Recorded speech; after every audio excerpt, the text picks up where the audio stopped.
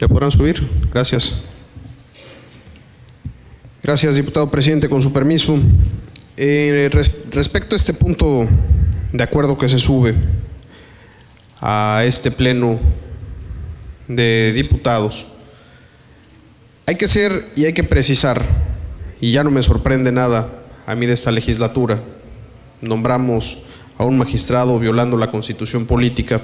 ¿qué más da el que violemos la constitución, que violemos el 115 constitucional de la constitución política federal,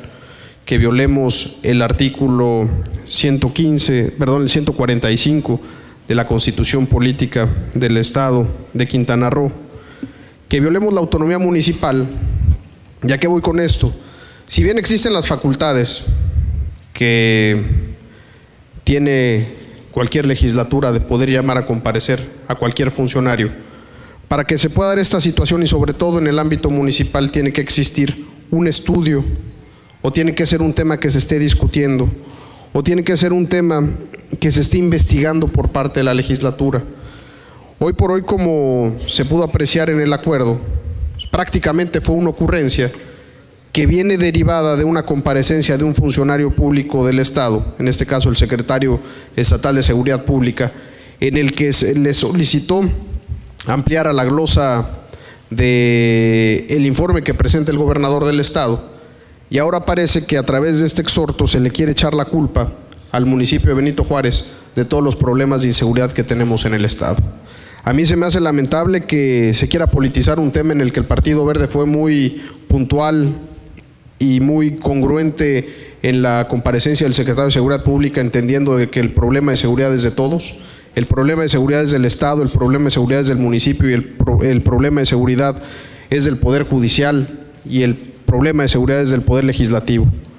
A mí me sorprende, bueno, ya me dejó de sorprender,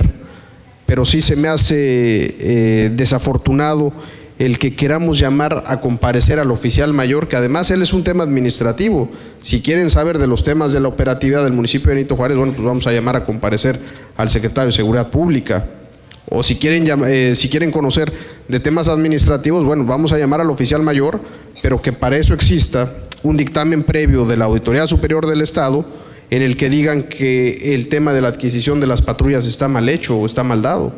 ¿Por qué? Porque nosotros estamos hablando de 100 patrullas. Habrá que meternos también a discutir cómo adquirieron las 300 patrullas del Estado. Creo que eso también sería interesante porque es el mismo mecanismo, es el mismo mecanismo que se utilizó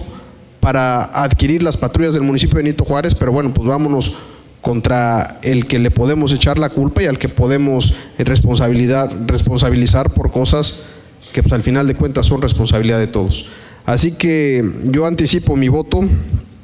el de la bancada verde igualmente, y les anticipo que la respuesta seguramente que tendrán por parte de la oficialía mayor, que además no es vinculativa porque no existe ningún estudio al respecto, será de que se van a excusar de venir a la legislatura y otra vez a que esta legislatura quede en ridículo de que no va a poder vincular ese